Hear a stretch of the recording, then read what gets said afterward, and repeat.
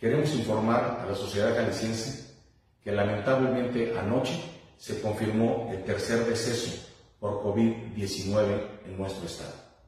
Se trata de una mujer de 56 años de edad, residente de los Estados Unidos, quien llegó a Tomatlán como solía hacerlo habitualmente. Inicia con sensación de tos, malestar general, molestias en general, dolores articulares, por lo que acude a consulta en donde se le da la prescripción de un aislamiento domiciliario y se le toma una prueba para COVID-19. El día de ayer, la paciente inicia con un dolor abdominal y sensación de dificultad para respirar, por lo que es nuevamente llevada al hospital y en el hospital de primer contacto de Tomatlán lamentablemente fallece.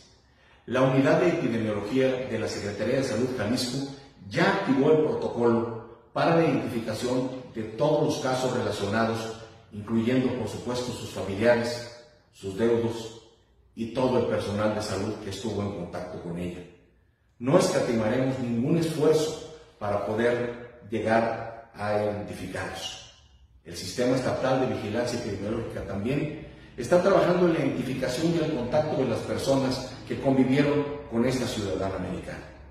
En Jalisco estamos vigilantes y trabajando para poder, junto con la sociedad, brindarle las mejores respuestas a toda la población.